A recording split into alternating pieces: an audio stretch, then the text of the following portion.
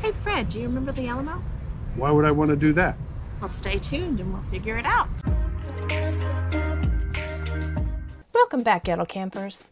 Last week we gave a tour of our campground in Lakehills, Texas.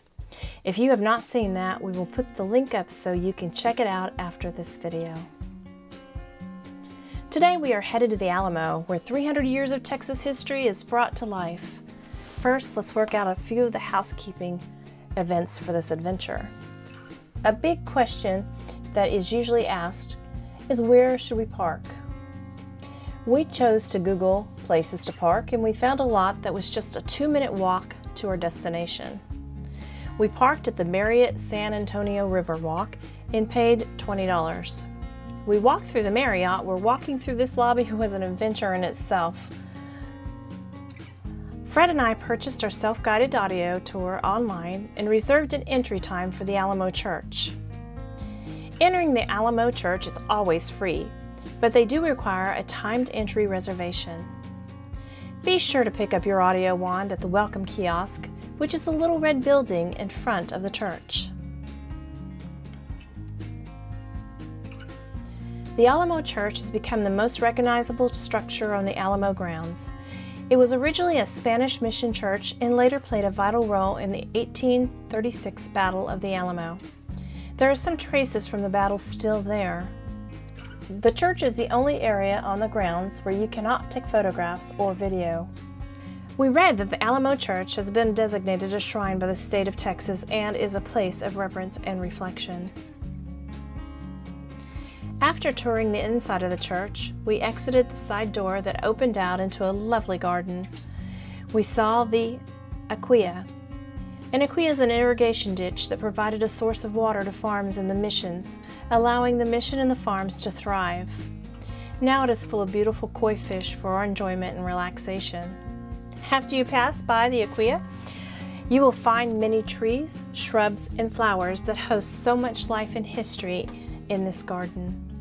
In the center, you will find a cactus garden full of prickly pear and yucca.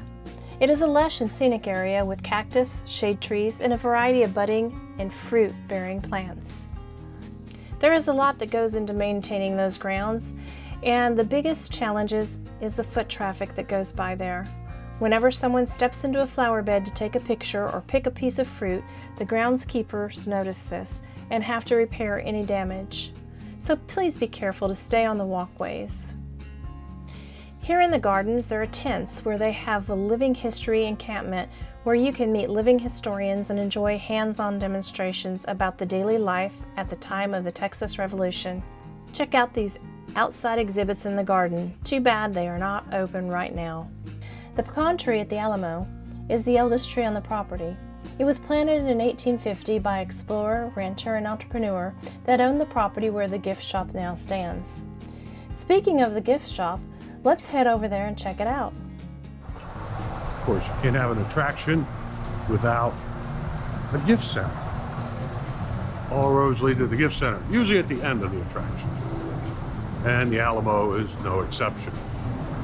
They got everything here. Think I might have to buy something. After checking out the gift shop, we exited into the Cavalry Courtyard. It is a versatile outdoor venue for receptions and military ceremonies. The courtyard features an elevated stone platform with the iconic Six Flags of Texas and is surrounded by six beautiful sculpted bronze statues that convey the humanity and heroism of the story of the Alamo. Fred and I are going to check these out and share them with you. To all my Tennessee friends, the frontiersman, American humorist, politician, and Alamo defender, Davy Crockett. This is William Barrett Travis, lawyer, soldier, and Alamo defender. James Bowie.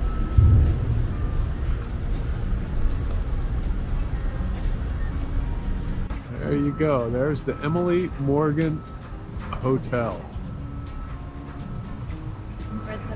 Climb every stair in a second. Yeah, I don't think 13 flights. And get a chocolate chip cookie.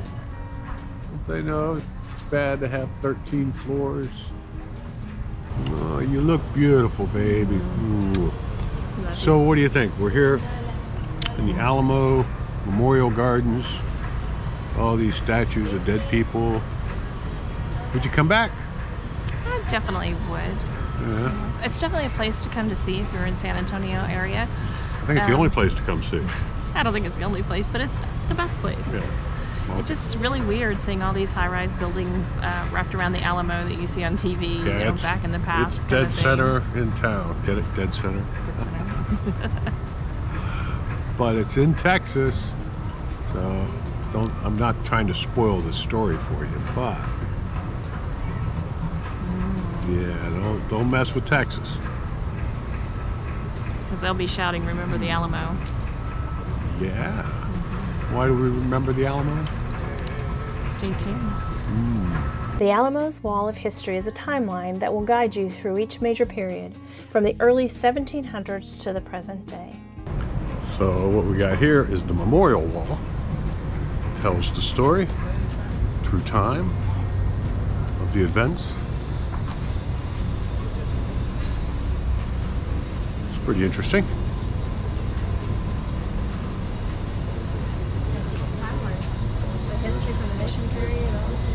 All of it, yeah, it's right here.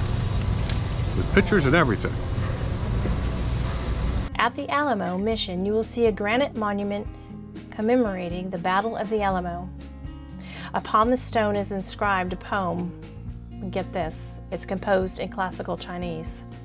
This compares the Alamo and its heroes to a famous incident in Japanese history, the Siege of Nagashino Castle. Remember, the Alamo has a mission well, so stop by and make a wish. It was once used to provide water to the inhabitants of the great structure.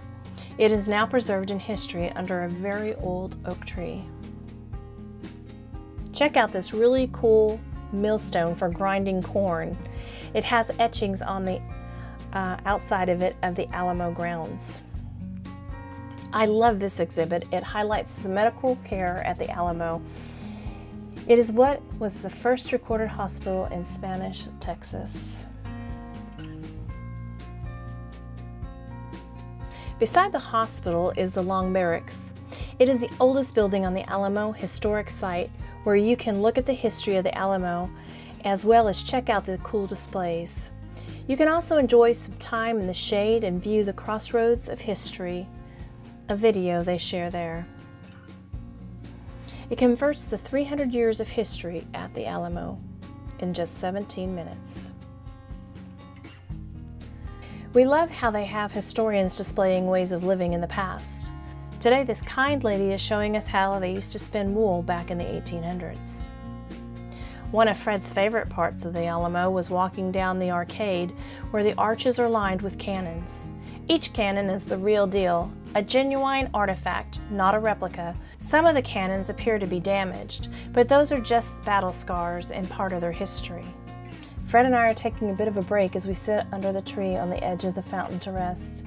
This fountain is pretty cool, as all four sides of the fountain are engraved with the names of four of the Alamo defenders.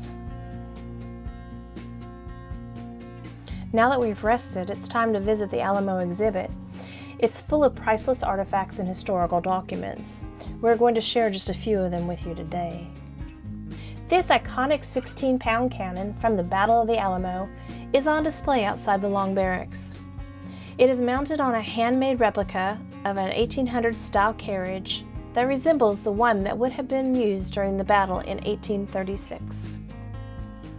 The Palisade is the newest outdoor exhibit that is located approximately where the original Palisade was in 1836. It is believed that Davy Crockett fought at the Palisade. This exhibit also features a replica of a 4 pound bronze cannon. The Alamo Cenotaph, also known as the Spirit of Sacrifice, is a memorial that is located near the front of the Alamo and stands to commemorate the men and women who chose to defend the Alamo. Each year, nearly 3 million visitors from all over the world come to visit the Alamo. What curator Dr. Bruce Winders finds remarkable is that everyone has a reason as to why we continue to remember the Alamo. And what it is, is when you start to talk to people, they'll usually say, We have something like this in our history. We have our own Alamo. And when you boil that down, the Alamo represents uh, really a, a definite set of values that cut across culture and nationality self sacrifice, bravery, devotion, honor. These are things that doesn't matter who you are, these are traits that you can say, that's worth remembering. And so it's convinced me that it may be something that happened out on the Texas frontier in 1836, but yet it represents really a universal story.